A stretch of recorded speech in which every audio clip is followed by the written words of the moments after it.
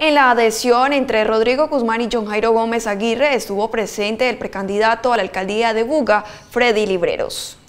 Este evento tan importante como es la adhesión de Rodrigo Guzmán Dávila al proyecto tan importante y ganador que es el de John Jairo Gómez, alcalde de Tuluá.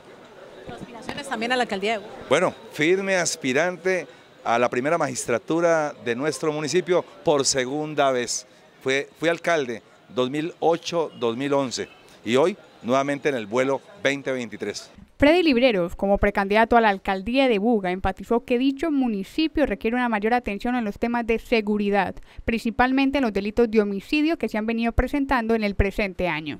Fue Datesco, una encuestadora nacional que de nueve candidatos arrojó que yo era el ganador absoluto de esa encuesta.